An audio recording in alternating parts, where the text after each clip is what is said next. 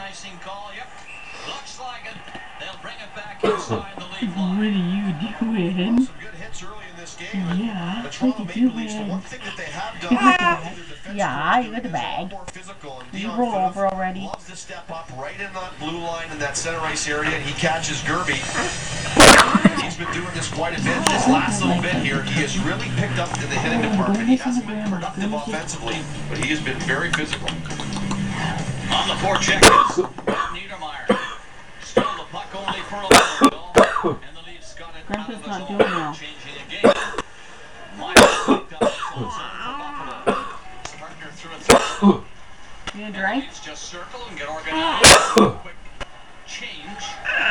Leafs hmm. jumping in. I'm just a happy person. You're a happy person? I'm a happy person. Oh my god. Oh my god.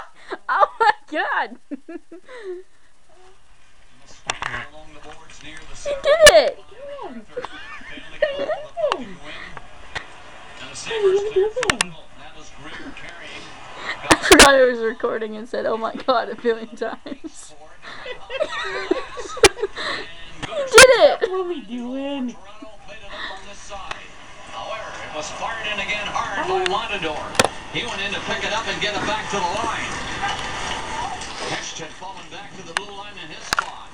Grier played it back to the line. And now Doing? Montador again with Leopold. Winding and the shot is off the leg again, deflected away from What are you doing?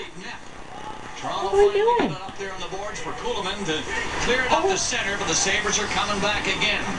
He lost a heartbreaker last night in Pittsburgh. There's his shot that's low and on the net. Look this other way. Weimer was waiting for that.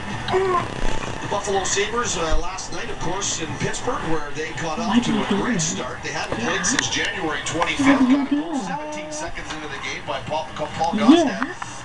And then they got the second goal and a 2 0 lead after the first period. That's when things fell apart. Second period, they faced a little adversity. Three goals in 3 minutes and 14 seconds by the Pittsburgh Penguins. You doing? Things fell apart for the Buffalo Sabres. They tried to turn it up in the third. Couldn't get it done. Suffered the loss. Yeah, I don't have that. Connolly Yeah. moved off, Yeah, go back in down that. center ice. Connolly played on the wing last night. It's the center Yeah, tonight this is- now. Is centering this line.